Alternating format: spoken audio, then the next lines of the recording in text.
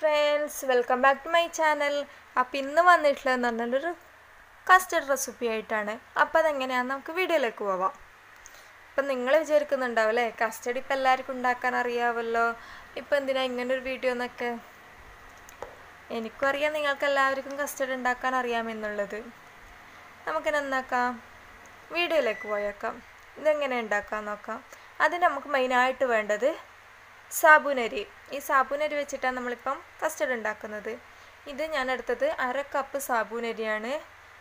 നമുക്ക് കഴുകി വൃത്തിയാക്കി വെച്ചതാണ്. ഇത് തന്നെ നമുക്ക് കുക്ക് ചെയ്തെടുക്കണം. അതിനു വേണ്ടി തിളക്കുന്ന വെള്ളത്തിൽ എന്താക്കാം? ഈ സാബുനരി ഇട്ടെടുക്കാം. ഒരു ഹൈ ഫ്ലെയിമിൽ അഞ്ച് മിനിറ്റ് എന്താക്കാം? ഇത് കുക്ക് ചെയ്തെടുക്കാം. അതിന് ശേഷം ആ ഫ്ലെയിം ഓഫ് ചെയ്ത് വെച്ച് ഒരു പത്തോ ഇരുപതോ മിനിറ്റ് എന്താക്കാം? ഇത് കുക്ക് ചെയ്യാനെടുക്കും. എന്നൊക്കെ ഒന്ന് മൂടി വെച്ച് ഒന്ന് മാറ്റി വെക്കാം.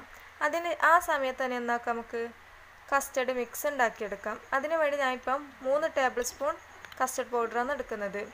അര കപ്പ് പാലിൽ ഒന്ന് നന്നായിട്ടൊന്ന് യോജിച്ചെടുക്കാം. ഇനി അങ്ങനെ ഏകദേശം നമ്മളെ സാബുനരിയുടെ കുക്കായിട്ടുണ്ട് അതിലേക്ക് തന്നെ ആ സെയിം പാനിലേക്ക് തന്നെ എന്താക്കാം? പാൽ ഒഴിച്ചു കൊടുക്കാം. നമ്മൾ എടുത്തിരിക്കുന്നത് നാല് കപ്പ് പാലാണ് അതിൽ അര കപ്പ് പാൽ നമുക്ക് കസ്റ്റർഡ് മിക്സ് ചെയ്യാൻ എടുത്തിട്ടുണ്ട്. ബാക്കി വരുന്ന പാൽ എന്താക്കാം? ഇതിലേക്ക് ഒഴിച്ചു കൊടുക്കാം.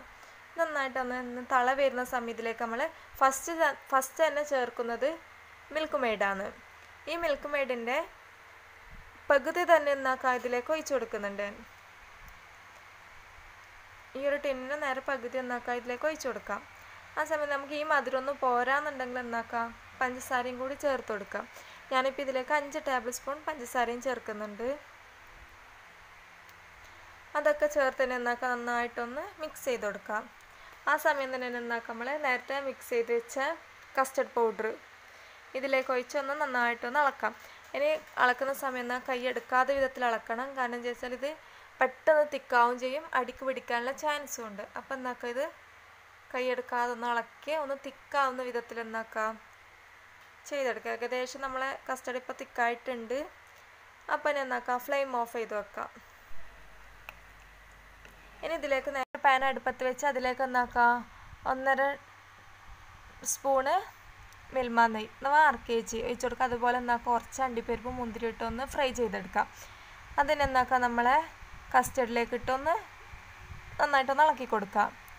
ഇനി വേണ്ടത് ഇതിലേക്കുള്ള ഫ്രൂട്ട്സാണ് ഇപ്പം ഞാൻ എടുത്തിട്ടുള്ളത് ഒരു മൂന്ന് ചെറുപഴം ചെറുതായി കട്ട് ചെയ്തത്. ഇതുപോലെ മുന്തിരി അരക്കപ്പ് അനാർ അരക്കപ്പ് ആപ്പിൾ അരക്കപ്പ്. അല്ല എന്നാൽ ചെറുതായി കട്ട് ചെയ്തെടുത്തതാണ്. അപ്പോൾ നിങ്ങൾക്ക് ഇഷ്ടമുള്ള ഫ്രൂട്ട്സൊക്കെ എന്നാക്കാം ഇതിലേക്ക് ആഡ് ചെയ്യാം. ഏതൊക്കെ ഫ്രൂട്ട്സാണോ ഉള്ളത് അതൊക്കെ എന്നാക്കാം ഇതിലേക്ക് ആഡ് ചെയ്ത് കൊടുക്കാം അങ്ങനെ നമ്മളെ കസ്റ്റർഡ് റെഡി ആയിട്ടുണ്ട്. ഇനിയിപ്പോൾ എല്ലാവരും കസ്റ്റർഡ് ഉണ്ടാക്കുമ്പോൾ ഈ രീതിയിലൊന്ന് ഉണ്ടാക്കി നോക്കാം. എന്തായാലും ഇഷ്ടമാവും എല്ലാവർക്കും. അപ്പോൾ ഇനി അടുത്ത വീഡിയോയിൽ കാണാം. ഇൻഷാല്ലാ